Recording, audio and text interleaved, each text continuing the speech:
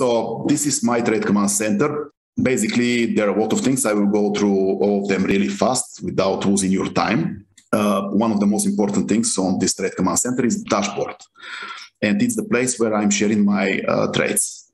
As you can see, it's really easy to read uh, we have the time when I posted this trade for the first time or edited this trade because some trades are going on and going on uh, days and days. If they're higher time frame trades, they're going for more than one day.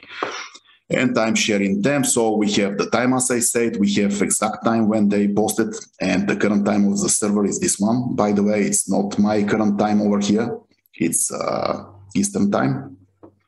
Then we have the pair then we have the direction, as you can see, really easy to read, buy or sell with an arrow. We have the time frame for the trade, H4 in this case here. Over here it's M15, and 15 and 5. Uh, we have the exact entry level, exact stop loss level, target one and target two. And I like to have two because uh, there is a way uh, we are managing our trades to uh, preserve more profits.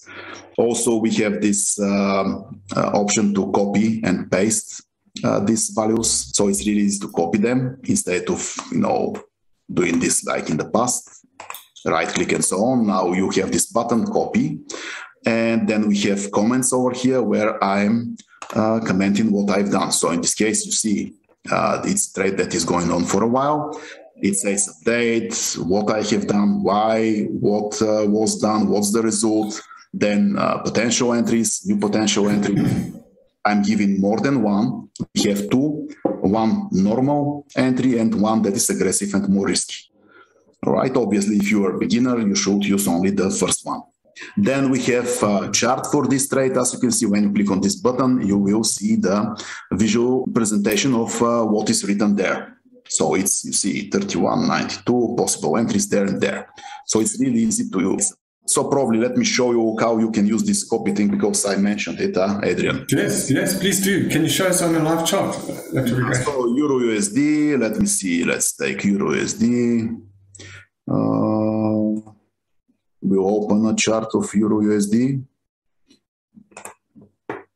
Over here, it says four hour, right? It was four hour. Let me see. I will copy this entry. We are buying, copy. Uh, we'll click on new order.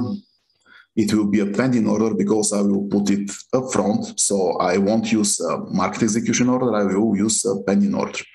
So at this price, paste. Then I will go back, we'll copy stop loss.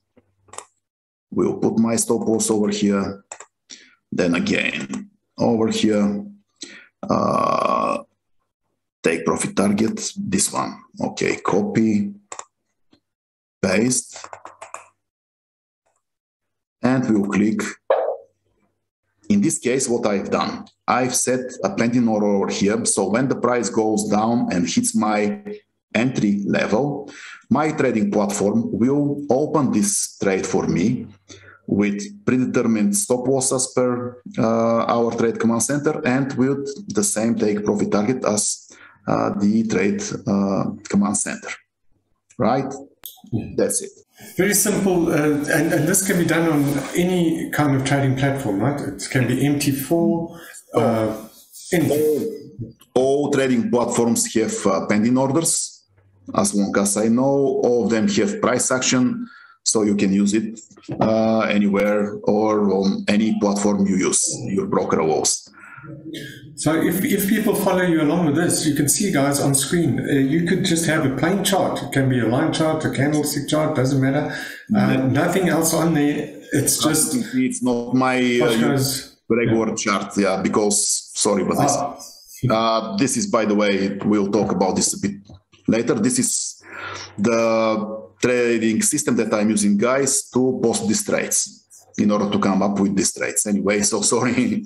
No, no, for sure. Thanks, Toshko, because I know that uh, that's a question many people would be wondering about is, okay, how do you get to these levels? And that's the system that you've just showed us now is what you use to create these. And that's what you've basically been developing, I know, for well over 15 years to get to this point, and you've been using it for a couple of years, and some of your members also. So that's fantastic.